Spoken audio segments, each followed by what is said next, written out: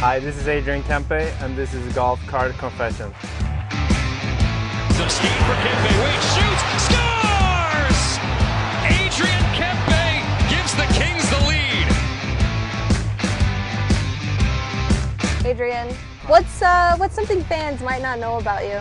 Uh, oh, that's a hard one. Uh-oh. Uh, probably that I uh, hate watching movies at cinema. Like, Really? Yeah, that's my least favorite thing. Why? I don't know. Just, uh, I don't know. Actually, I I haven't been watching a movie at the cinemas for I don't know how many years now. But I What? just my friends always always ask me like, "You want to go watch a movie?" I'm like, "No." Dude, I watch three movies a week at the cinema. so you're talking to a girl who just cannot relate to that. I just feel like I can't do like I can't like pause the movie obviously and like go do stuff and stuff like that. I just can't sit watch a movie for like two hours, just not move. What about, do you have any weird pregame rituals? Anything that you do that you have to do before every single game? Uh, I mean, I usually eat the exact same pregame meal before every game. What is that?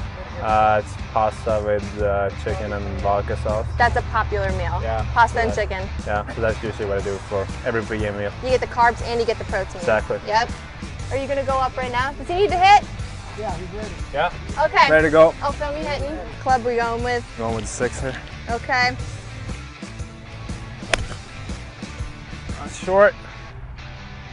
Very short. How'd it go? Not great. Hit the ball at least.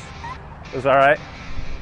What's it like having a brother that also plays hockey? That's really unique. Yeah, It's really cool. It's fun. Uh, he, uh, yeah, well, he came over here. This is his second year in U.S. and he's eight years older than me, so he's uh, he's a little older. But it was fun. Uh, fun for me having him come over as well. So we're, we're pretty close. So Yeah.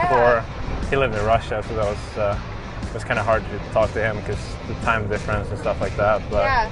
It's uh, it's way, it's way better now. So we we talk almost every day. So that's uh, a lot of fun. Well, anything else that you want fans to know about you? I, we know we, you don't like watching movies in the cinema. What do you like to do? What's like the one thing you just love doing outside of the sport?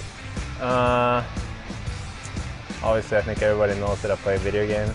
That's a big hobby. That's awesome. so that's probably uh, my one favorite thing I do. Do you play NHL? hockey. Uh, I do not play that much NHL. Okay. I to play FIFA, Call of Duty, Fortnite, uh, all kinds of games. Uh, I'm not a big NHL guy though, but uh, I'm pretty good at it though, even though I don't play it that much. How's Fortnite going for you? Uh, pretty good. Yeah. Yeah, I'm uh, I'm a solid guy, so uh, I'm uh, I'm alright at it. And do you play with any other hockey players?